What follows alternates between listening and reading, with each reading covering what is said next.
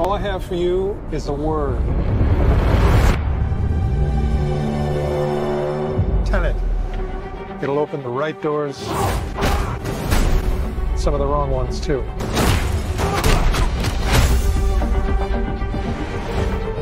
Use it carefully. To do what I do, I need some idea of the threat we face. As I understand it, we're trying to prevent World War III. I'm not saying Armageddon here. No. Something worse. He can communicate with the future. Time travel. No. Inversion.